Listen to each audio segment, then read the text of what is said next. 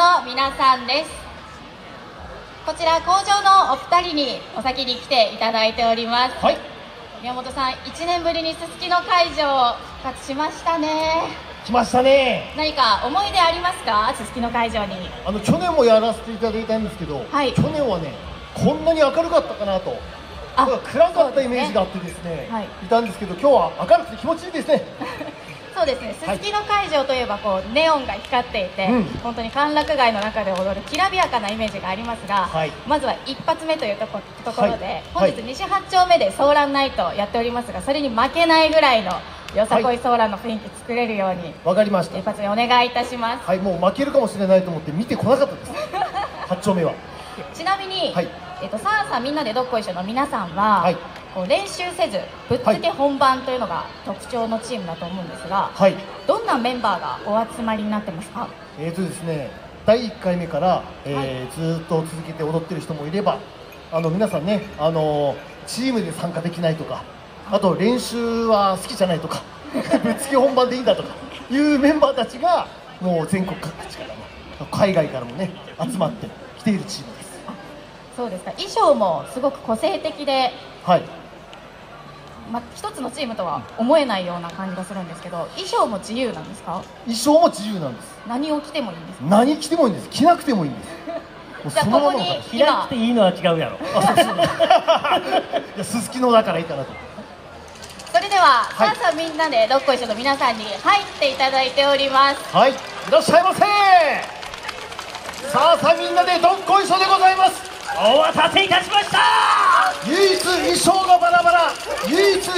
していない、唯一並ぶこともできない、唯一大賞を取ることができないチームでございます。参ったか。それではすすきの会場初めに踊っていただくのはさあさあみんなでどっこいしょの皆さんですはい、ご紹介いたします第1回から参加し続けている唯一のチーム連続出演33年曲も踊りも毎年同じ練習しないでぶっつけ本番大歓迎衣装も踊りも自由お祭りばかりになっちゃうべやイエーイ。それでは披露していただきましょうさあさあみんなでどっこいしょの皆さんですどうぞはい、それじゃあやらせていただきましょう。皆さん、これは見ていてもしょうがないですので、あのその場で一緒に踊ってちょうだい。よろしくお願いいたします。構えて。行くときは。行くときは。さあさあみんなで。